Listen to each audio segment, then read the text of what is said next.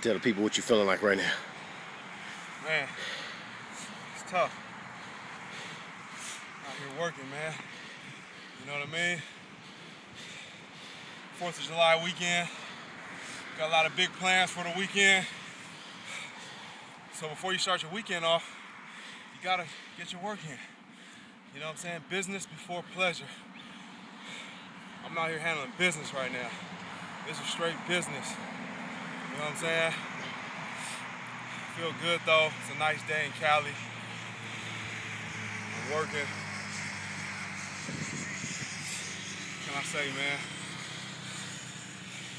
I got my boy Vicious Victor Ortiz. Got the gear on. You know what I'm saying?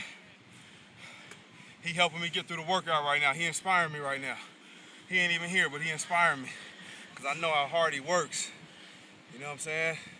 As he says, as he says, he has balls of steel. You know what I'm saying?